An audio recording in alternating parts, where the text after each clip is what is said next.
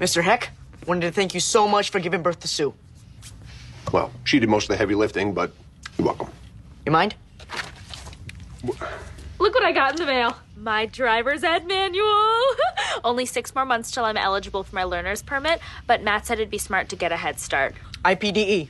Identify, predict, decide, execute. Really, sir, honored you share your daughter with me. And also your pizza. Does he always have to be here? I mean, he's the size of brick, but he eats more than Axl. Come on, Matt's a good kid. Plus, he's Sue's first real boyfriend. It's called being happy. I gotta be happy in the same room as my TV. Seriously, Mike, bitterness is not a very attractive color on you. Super Party Pooper Bowl.